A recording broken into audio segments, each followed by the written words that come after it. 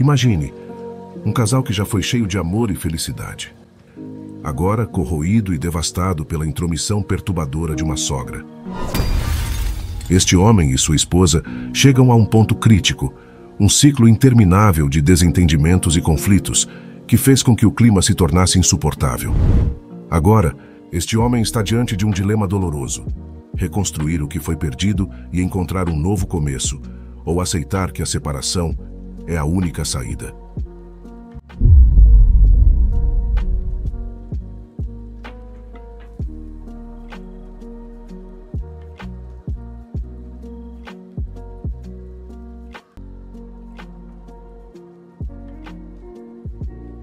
Fui chamado de infértil pela minha sogra e minha esposa apoiou, me pintando como uma pessoa ruim. Então, eu me divorciei dela, casei com a prima dela e me tornei pai de gêmeos. Nunca pensei que estaria compartilhando minha história de vida no Reddit, mas aqui estou, desesperado por conselhos de estranhos na internet.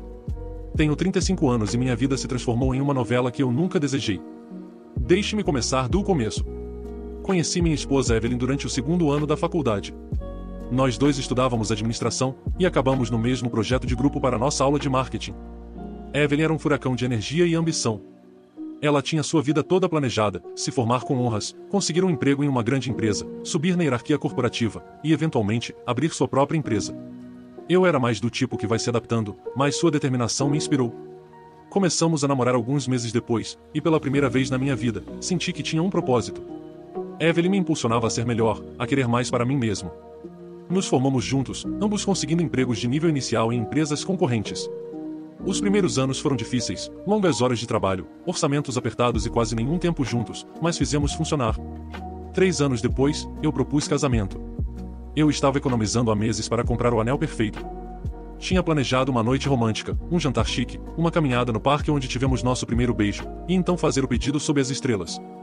Mas a vida tinha outros planos. No dia em que eu ia fazer o pedido, Evelyn me ligou chorando. Escolheram outra pessoa para uma promoção pela qual ela vinha se esforçando há meses. Ela estava devastada, questionando suas escolhas de carreira e seu valor. Eu abandonei o plano elaborado, e em vez disso, apareci no apartamento dela com seu prato favorito e uma garrafa de vinho. Enquanto estávamos na pequena varanda dela, lamentando a injustiça da vida corporativa, percebi que nunca haveria um momento mais perfeito. Tirei o anel e pedi ela em casamento ali mesmo, ambos em nossas roupas de trabalho, cercados por embalagens de comida. Evelyn disse sim, e por um momento, tudo estava perfeito. Então vieram os preparativos para o casamento, e com eles, meu primeiro encontro real com Karen, a mãe de Evelyn. Eu já tinha encontrado Karen algumas vezes antes, mas sempre em encontros em grupo, onde ela estava se comportando da melhor forma possível. Agora, enfrentando o planejamento do casamento de sua filha mais velha, a verdadeira Karen veio à tona. Nada nunca era bom o suficiente, o local era pequeno demais, a comida era exótica demais, a música era moderna demais.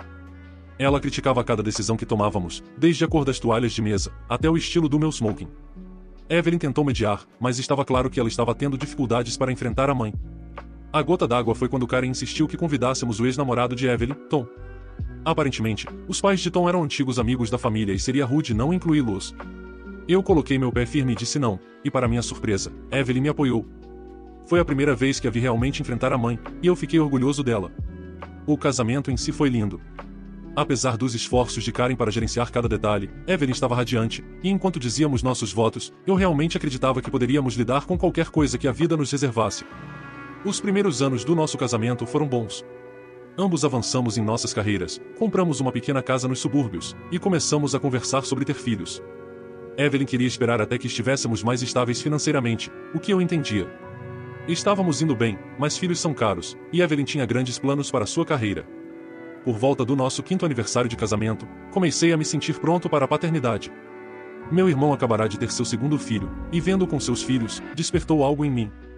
Eu trouxe o assunto com Evelyn, mas ela estava hesitante.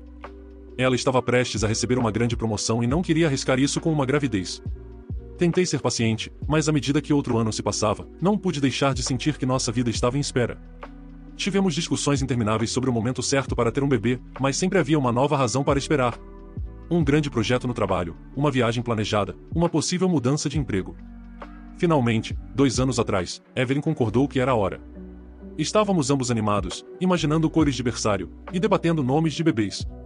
Mas, à medida que os meses passavam sem um teste de gravidez positivo, nossa empolgação se transformou em preocupação.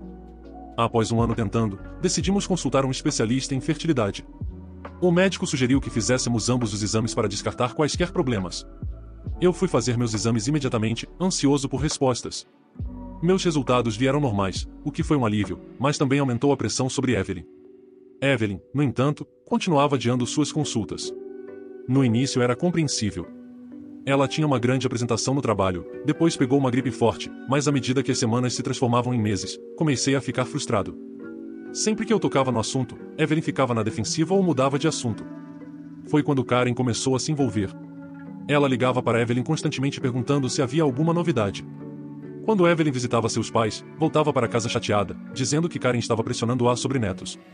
Eu tentei ser compreensivo, mas não pude deixar de sentir que Evelyn estava permitindo que sua mãe tivesse influência demais sobre nossas vidas. As coisas ficaram complicadas no último dia de ação de graças. Estávamos na casa de Karen, cercados pela família. Karen havia bebido vinho a tarde toda e estava em uma forma rara. Começou a falar sobre como todas as suas amigas estavam se tornando avós, e como estava começando a se sentir excluída. Então olhou diretamente para mim e disse: É uma pena que Evelyn tenha casado com alguém que não pode lhe dar filhos. Sempre soube que você não era homem o suficiente. O ambiente ficou silencioso. Eu me senti como se tivesse levado um tapa. Evelyn apenas ficou ali, olhando para o prato. Tentei explicar que ainda estávamos tentando, que essas coisas levam tempo, mas Karen não parava. Ela continuava a fazer comentários sobre minha masculinidade, dizendo que Evelyn deveria ter casado com Tom em vez de mim. Pelo menos ele vinha de uma boa genética. Eu não aguentei mais. Toda a frustração do ano passado veio à tona. Me levantei e disse a todos na mesa que eu não era o problema. Meus exames de fertilidade haviam voltado normais, era Evelyn quem nem sequer havia feito os exames ainda. O que aconteceu depois foi feio. Evelyn ficou furiosa comigo por trair sua confiança. Karen estava em uma missão de guerra, me chamando de todos os nomes possíveis. Saí de casa e passei a noite em um hotel tentando entender onde havíamos errado. Quando cheguei em casa no dia seguinte, Evelyn ainda estava zangada. Ela me acusou de a humilhar na frente da família. Tentei explicar que não suportava ser culpado e envergonhado por algo que não era minha culpa, mas ela não quis ouvir. Desde então, as coisas têm sido tensas. Evelyn ainda se recusa a fazer os testes, e agora está me ignorando. Karen tem ligado e mandado mensagens sem parar, exigindo que eu peça desculpas a Evelyn e a ela. Bloqueei o número dela, mas ela continua encontrando novas formas de me perturbar. Não sei o que fazer. Eu amo Evelyn, mas estou começando a me perguntar se queremos as mesmas coisas na vida. Sinto que estou constantemente andando sobre cascas de ovos, tentando não irritar ou incorrer na ira de Karen. Para complicar ainda mais, a prima de Evelyn, Emma, entrou em contato comigo ontem. Emma e eu sempre nos damos bem. Ela é alguns anos mais nova que nós e sempre foi a ovelha negra da família, optando por ser professora, em vez de seguir o mundo dos negócios como Evelyn fez. Emma disse que ouviu o que aconteceu no dia de ação de graças e queria saber se eu estava bem. Acabamos conversando por horas. Foi bom ter alguém ao meu lado, alguém que entendia como Karen podia ser insuportável. Agora estou em uma encruzilhada. Parte de mim quer lutar pelo meu casamento para tentar fazer Evelyn ver como o relacionamento dela com a mãe é tóxico. Mas outra parte está se perguntando se é hora de cortar minhas perdas. Tenho 35 anos e quero ser pai. Não quero acordar aos 45, amargo e sem filhos, ressentido com Evelyn por me roubar a chance de ter uma família. Nunca pensei que estaria nesta posição. Qualquer conselho seria apreciado. Eu sou um idiota por me defender? Eu deveria ter ficado quieto e deixado Karen continuar a me ofender? Como faço para mostrar a Evelyn que o comportamento de sua mãe está destruindo nosso casamento? Atualização 1 Já se passou um mês desde meu post original, e para dizer que muitas coisas aconteceram seria um eufemismo. Quero agradecer a todos pelos conselhos e apoio. Seus comentários realmente me ajudaram a ganhar alguma perspectiva sobre minha situação. Após ler seus comentários, percebi que precisava ter uma conversa séria com Evelyn. Eu não podia continuar vivendo nesse limbo com tensões e ressentimentos não falados crescendo entre nós. Decidi tirar um dia de folga no trabalho e pedir a Evelyn para fazer o mesmo. Eu queria que tivéssemos tempo para realmente conversar sem distrações. Naquela manhã, preparei o café da manhã favorito de Evelyn, panquecas de mirtilo com xarope de bordo verdadeiro. Era algo que eu costumava fazer todo domingo quando nos casamos, mas de alguma maneira, paramos de fazer esses pequenos gestos, Enquanto sentávamos à mesa da nossa cozinha, com o cheiro familiar das panquecas no ar, senti uma pequena esperança de que talvez pudéssemos encontrar o caminho de volta um para o outro. Comecei pedindo desculpas pelo meu acesso de raiva no dia de ação de graças. Expliquei que, embora lamentasse a forma como lidei com a situação, não podia me desculpar pelos sentimentos que estavam por trás disso. Disse a Evelyn o quanto eu estava magoado com seu silêncio dela, como me senti sem apoio e culpado por algo que não era minha culpa. Para minha surpresa, Evelyn desabou. Entre lágrimas, ela confessou que havia feito os testes meses atrás e descobriu que tinha alguns problemas de fertilidade. Ela estava com medo de me contar porque achava que eu poderia deixá-la. Ela havia carregado esse segredo por meses, me fazendo pensar que ela apenas estava procrastinando nos exames. Eu estava chocado e magoado por ela ter me escondido isso, mas tentei ser compreensivo. Perguntei a ela por que achava que eu a deixaria por causa disso e sua resposta partiu meu coração. Ela disse que, quando era criança, sua mãe sempre enfatizava que o valor de uma mulher estava atrelado à sua capacidade de ter filhos. Karen havia enraizado na cabeça de Evelyn que, se ela não pudesse dar filhos ao marido, ele inevitavelmente a deixaria por alguém que pudesse. Foi como se uma lâmpada tivesse acendido na minha cabeça. Muitas das ações de Evelyn no último ano de repente fizeram sentido. Sua relutância em fazer os testes, sua defensiva sempre que eu mencionava filhos, seu silêncio diante dos ataques da mãe contra mim. Tudo isso vinha desse medo profundo de não ser mulher o suficiente, Passamos horas conversando naquele dia, realmente nos abrindo um para o outro de uma maneira que não fazíamos há anos. Concordamos em começar a fazer terapia de casal para trabalhar na nossa comunicação e ajudar Evelyn a lidar com algumas das crenças prejudiciais que sua mãe havia incutido nela. Nós até começamos a pesquisar opções de adoção e fertilização in vitro, sentindo que finalmente estávamos na mesma sintonia sobre nosso futuro. Por algumas semanas, as coisas estavam melhorando. Nossas sessões de terapia estavam indo bem, e Evelyn parecia mais relaxada e feliz do que há meses. Estávamos nos reconectando, redescobrindo o amor que tinha se perdido sob todo o estresse e ressentimento. Mas então Karen voltou a se envolver. De alguma forma, ela descobriu sobre os problemas de fertilidade de Evelyn. Suspeito que a irmã de Evelyn possa ter deixado escapar. Ela sempre foi um pouco fofoqueira. Em vez de apoiar a filha durante esse período difícil, Karen começou um ataque. Ela passou a me ligar diariamente, deixando mensagens longas e confusas, me culpando por estressar Evelyn e causar seus problemas de fertilidade. Ela dizia coisas como: Se você fosse um verdadeiro homem, já teria dado um bebê a ela. E eu sempre soube que você não era bom o suficiente para ela. Tentei bloquear o número dela, mas ela usava outro telefone para ligar. Então ela começou a aparecer na nossa casa sem avisar, exigindo falar com Evelyn sozinha. Na primeira vez que isso aconteceu, cheguei em casa do trabalho e encontrei Evelyn lágrimas no sofá, com Karen andando de um lado para o outro na nossa sala reclamando sobre como precisávamos nos esforçar mais, sobre como Evelyn não estava fazendo o suficiente para consertar a si mesma. Pedi a Evelyn que colocasse limites com a mãe, mas ela sempre tinha uma desculpa. É assim que a minha mãe é, ela dizia. Ou ela só está preocupada comigo. Era como se estivéssemos de volta ao ponto de partida, com Evelyn incapaz de enfrentar a mãe, e eu me sentindo um estranho no meu próprio casamento. A situação chegou ao auge na semana passada. Cheguei em casa mais cedo, esperando surpreender Evelyn com ingressos para um show que ela queria ver. Em vez disso, encontrei Karen na nossa sala de estar, vasculhando nossos documentos pessoais. Ela disse que estava procurando nossos registros médicos, porque não acreditava que Evelyn realmente tinha problemas de fertilidade. Ela achava que estávamos mentindo para encobrir minhas inadequações. Perdi a calma. Disse a Karen para sair da nossa casa e ficar fora da nossa vida. Disse a ela que seu comportamento era tóxico e que estava destruindo o relacionamento dela com a filha. Evelyn, em vez de me apoiar, começou a chorar e disse que eu estava sendo muito severo com a mãe dela. Naquela noite, depois que Karen foi embora, Evelyn e eu tivemos uma grande briga. Disse a ela que não conseguia continuar vivendo assim, com a mãe dela constantemente se intrometendo em nossas vidas e Evelyn permitindo isso. Disse que sentia como se estivesse casado com as duas, não apenas com Evelyn. Evelyn me acusou de ser egoísta e de não entender como isso era difícil para ela. No calor do momento, disse algo que me arrependo. Disse a Evelyn que, se ela não conseguisse enfrentar a mãe, talvez ela não estivesse pronta para ser uma mãe ela mesma. Foi um golpe baixo, e eu soube disso assim que as palavras saíram da minha boca. Evelyn me deu um tapa e então se trancou no nosso quarto. Passei a noite no sofá, me sentindo perdido e confuso. Na manhã seguinte, Evelyn sumiu. Ela deixou um bilhete dizendo que ia ficar com os pais por um tempo para clarear a cabeça.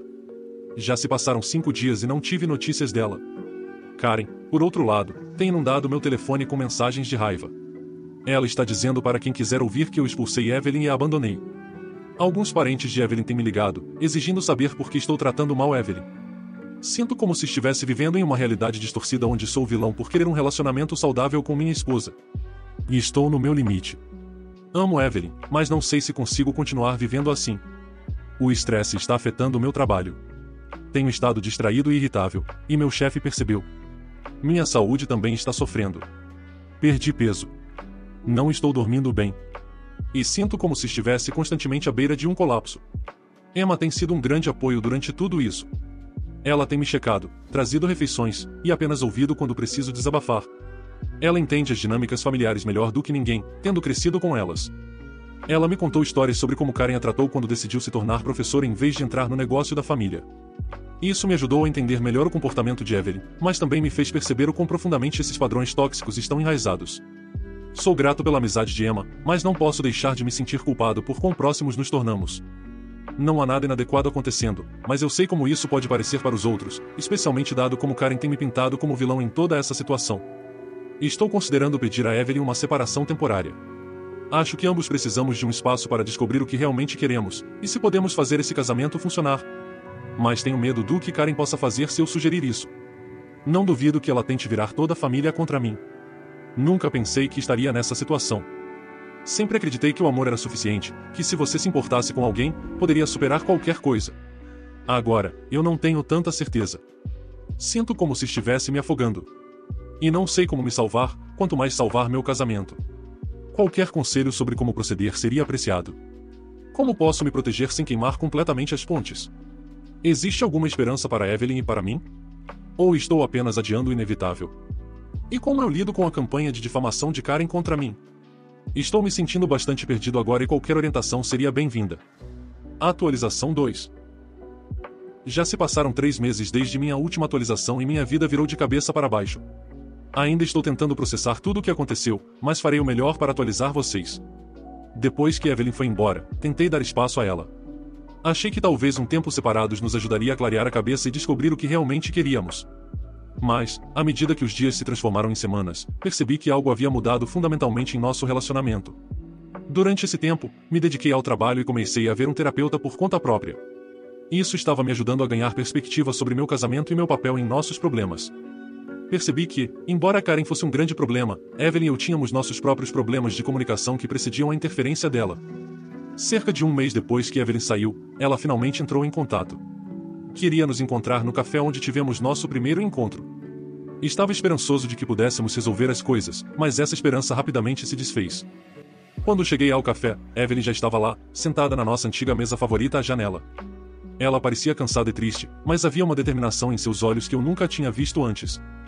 Pedimos nossas bebidas habituais, um latte para ela, café preto para mim, e por um momento, parecia como nos velhos tempos.